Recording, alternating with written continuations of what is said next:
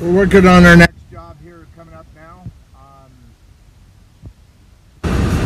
well, one of several more actually, but uh, this this job is uh, including in our preventative maintenance uh, programs.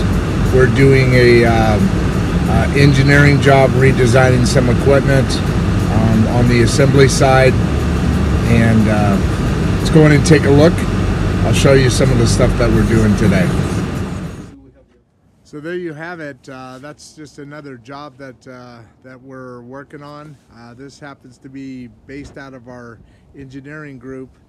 Um, sorry, I just pulled off my bump cap, but uh, we uh, um, we're working on their uh, re replacing their old pneumatic controls and pneumatic cylinders with servo servo systems, giving them a lot more accuracy in the placement of uh, those components.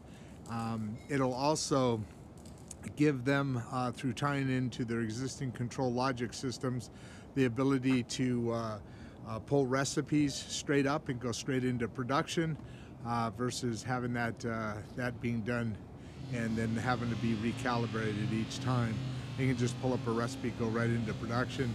That saves on startup waste but also as the uh, products are going out of uh, calibration throughout. As you see here, uh, some of the stuff that we we we are involved in is not just uh, controls logics, uh, which we uh, do everything from the panel to to writing the software, um, but we can also work with others.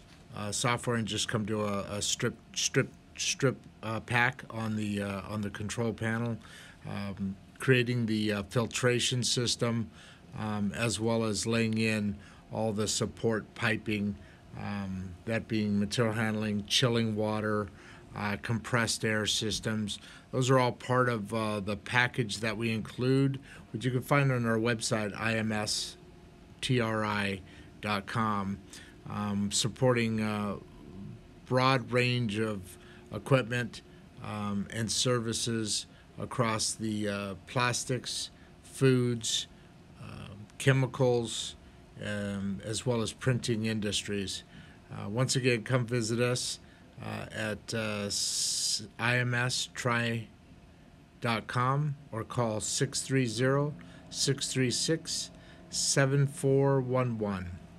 Thank you very much and look forward to the opportunity to serve you. Bye for now.